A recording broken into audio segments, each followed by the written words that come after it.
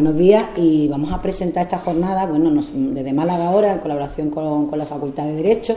y nos centramos en la renta básica porque entendemos que desde el ayuntamiento, desde el ámbito municipal, es necesaria también una renta municipal complementaria, específicamente en los temas de las personas más vulnerables, de los colectivos como las mujeres que han sufrido violencia de género, incluso eh, mujeres que, bueno, por distintas circunstancias se han dedicado al hogar y se encuentran sin rentas disponibles para poder asumir la vida diaria, y un montón de colectivos más que, que ahora mismo pues, están en una situación de mucha vulnerabilidad social. Obviamente eso sería un primer paso para luchar por una renta básica y universal que englobase a toda la población. Eh, creemos que es una propuesta asumible, que obviamente mm, los presupuestos municipales eh, tendrían que eh, otro tipo de subsidios eh, eliminarlos para complementar esta renta a, esos colectivos que lo necesitan y poco a poco pues sería como una mancha de aceite de ir creciendo la aplicación de, estas rentas hasta que bueno llegásemos a esta renta universal que ya sería una cuestión a nivel estatal en la que se cubrirían las necesidades básicas de todas las personas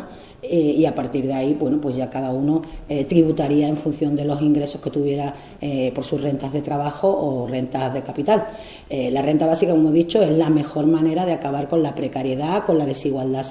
salarial, permitiría unas condiciones de libertad para las personas poder decidir sobre su vida, sobre sus condiciones de trabajo y al fin y al cabo pues permitiría la emancipación y la visibilidad de todos esos trabajos que ayer reivindicábamos precisamente que son trabajos no remunerados, pero que son trabajos necesarios para la sostenibilidad de la vida. Una jornada sobre renta básica que estamos organizando mm, por parte del Grupo Municipal Málaga Ahora y el Departamento de Derecho Constitucional de la Universidad de Málaga, la Facultad de Derecho. Gente a hablar sobre la renta básica a favor y en contra y además de las distintas propuestas. Y eh, la semana que viene, el lunes día 12, tenemos a, dos personas de, de un grandísimo nivel uno es Daniel Raventós, él es doctor en Ciencias Económicas, profesor de la Facultad de Economía y Empresa de la Universidad de Barcelona.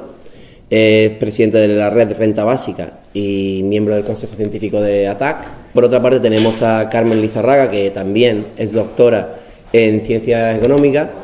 es, profesora también en la Facultad de Economía de la Universidad de Granada y ahora mismo es presidenta del Grupo Parlamentario de Podemos Andalucía. Nos parece muy interesante, primero, abrir eh, este debate a la ciudadanía para que se entienda que no, tiene que ser un tabú, que se puede hablar sobre esto, que, que es algo posible y que solamente hay que ver cómo se puede hacer. Hay de sectores, que podríamos decir liberales, que apoyan la renta básica como puede ser Mark Zuckerman, el de Facebook, porque entiende que en una sociedad en la que no haya la capacidad de consumo, porque no hay las necesidades básicas cubiertas, eh, el sistema mm, en el que vivimos se para. Obviamente no es una visión nuestra, nosotros atendemos más a los derechos humanos y a las necesidades de todas las personas tienen, pero es cierto que si, si no hay consumo, el sistema se colapsa. Cada vez más parte del trabajo se, se realiza por máquinas.